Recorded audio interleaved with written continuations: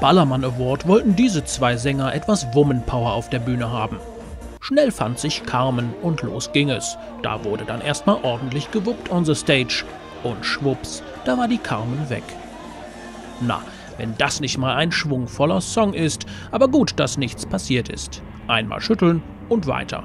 Und Carmen aufgepasst, die Bühne sind nicht immer die Bretter, die die Welt bedeuten. Hier geht's auch oft vielen Künstlern so, nach ganz hoch kommt ganz tief und auf einmal sind sie weg.